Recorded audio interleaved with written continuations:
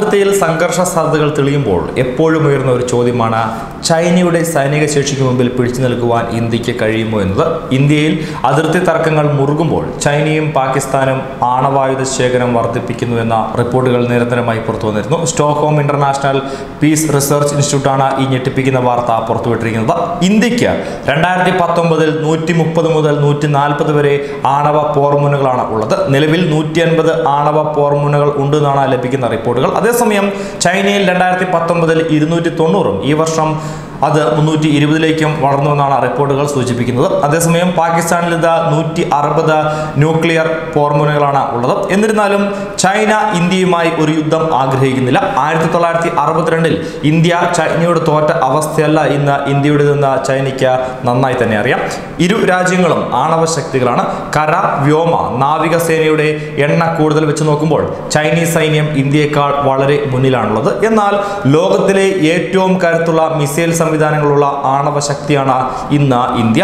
പതിനാറായിരം കിലോമീറ്റർ അകലെയുള്ള ലക്ഷ്യത്തിൽ കൃത്യമായി എത്തുവാൻ കഴിയുന്ന സൂര്യ എന്ന ഭൂഖണ്ഡാന്തര മിസൈലാണ് ഇന്ത്യയുടെ മുതൽക്കൂട്ട്.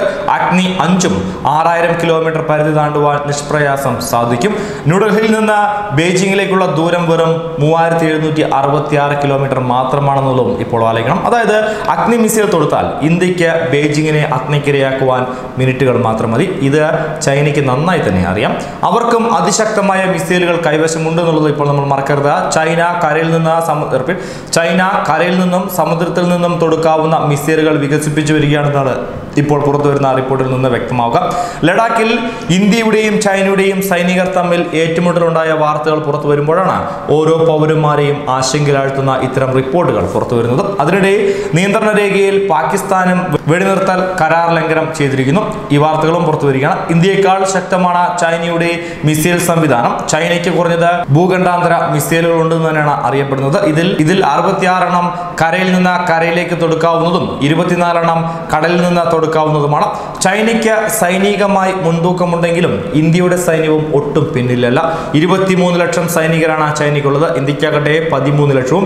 പ്രതിരോധ ചെലവിന്റെ കാര്യത്തിൽ ചൈന ഏറെ മുന്നിലാണ്. ഇരുന്നൂറ്റി അറുപത്തി ഒന്ന് പോയിന്റ് ഒന്ന് ബില്യൺ ഡോളറാണ് അത്. ഇന്ത്യയുടേത് എഴുപത്തി ഒന്ന് പോയിന്റ് ഒന്ന് ബില്യൺ ഡോളറും. പതിമൂവായിരം ടാങ്കുകളാണ് ചൈനയ്ക്കുള്ളത്. ഇന്ത്യ ഇന്ത്യയ്ക്ക് നാലായിരത്തി നാനൂറെണ്ണവും നാൽപ്പതിനായിരത്തിലധികം കവചിത യുദ്ധവാഹനങ്ങൾ ചൈനയ്ക്കുള്ളപ്പോൾ ഇന്ത്യക്കുള്ളത് വെറും രണ്ടായിരത്തി എണ്ണൂറെണ്ണം മാത്രമാണ്. റോക്കറ്റ് പ്രൊജക്ടേഴ്സിന്റെ കാര്യത്തിലും സ്ഥിതി ഭിന്നമല്ല.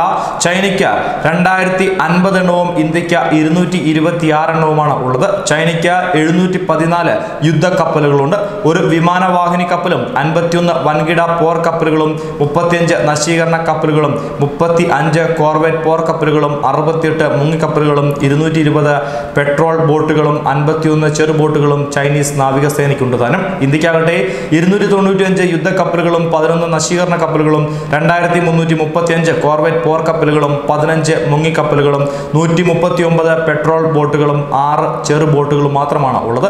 ചൈനീസ് വിമാനങ്ങളുടെ എണ്ണം രണ്ടായിരത്തി തൊള്ളായിരത്തി അൻപത്തി അഞ്ചിന് അടുത്ത് വരികയും ചെയ്യും. ആയിരത്തി ഇരുന്നൂറ്റി എഴുപത്തി ഒന്ന് പോർ വിമാനങ്ങളും ആയിരത്തി മുന്നൂറ്റി എൺപത്തി അഞ്ച് ആക്രമണ വിമാനങ്ങളും എഴുന്നൂറ്റി എൺപത്തിരണ്ട് ട്രാൻസ്പോർട്ടറുകളും മുന്നൂറ്റി അമ്പത്തിരണ്ട് റെയ്ഡർ എയർക്രാഫ്റ്റുകളുമാണ് ചൈനയ്ക്കുള്ളത്. ചൈനയുടെ തൊള്ളായിരത്തി പന്ത്രണ്ട് ഹെലികോപ്റ്ററുകളിൽ ഇരുന്നൂറ്റി ആറെണ്ണം അറ്റാക്കർ ഹെലികോപ്റ്ററുകളാണ് എന്നുള്ളതും പ്രത്യേകത. ഇന്ത്യൻ വ്യോമസേനയിൽ രണ്ടായിരത്തി ഒരുന്നൂറ്റി രണ്ട് വിമാനങ്ങളാണ് ഉള്ളത്. ഇതിൽ അറുന്നൂറ്റി എഴുപത്തി ആറെണ്ണം പോർ വിമാനങ്ങളാണ്. എണ്ണൂറ്റി ഒൻപത് ആക്രമണ വിമാനങ്ങളും എണ്ണൂറ്റി അൻപത്തി ഏഴ് ട്രാൻസ്പോർട്ടറുകളും മുന്നൂറ്റി ഇരുപത്തി മൂന്ന് റൈഡർ എയർക്രാഫ്റ്റുകളും ഇന്ത്യക്കുണ്ട് താനും.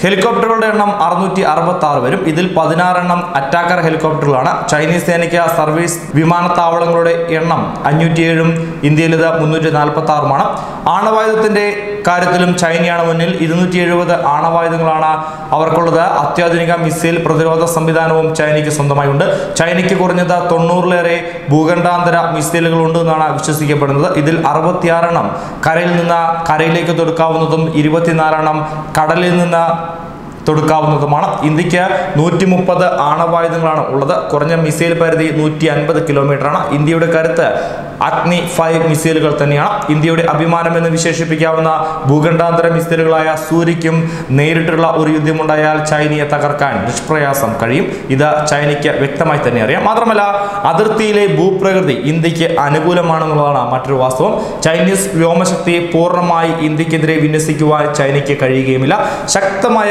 ആക്രമണം നടത്തണമെങ്കിൽ അതിർത്തിയിൽ കുറഞ്ഞത് മുന്നൂറ് കിലോമീറ്റർ അകലെയെങ്കിലും യുദ്ധവിമാനങ്ങൾ വിന്യസിക്കണം. എന്നാൽ ഇന്ത്യക്കെതിരെ ചൈനയ്ക്ക് യുദ്ധവിമാനങ്ങൾ ടിബറ്റിലോ സമീപത്തോ മാത്രമേ വിന്യസിക്കാൻ ആവുകയുള്ളൂ. ടിബറ്റിൽ അഞ്ച് എയർഫീൽഡുകളും സിങ്ചിയാങ്ങിൽ രണ്ടെണ്ണവുമാണ് ചൈനയ്ക്കുള്ളത്. കൂടുതൽ എയർഫീൽഡുകൾ ടിബറ്റിൽ സജ്ജമാക്കുകയാണ് ചൈന. ഈ എയർഫീൽഡുകൾ തമ്മിലുള്ള ദൂരക്കൂടുതലും ചൈനയെ വലിക്കുമെന്ന് തന്നെയാണ് വിദഗ്ധർ അഭിപ്രായപ്പെടുന്നത്. ന്യൂസ് ഡെസ്ക് മലയാളി വാർത്ത.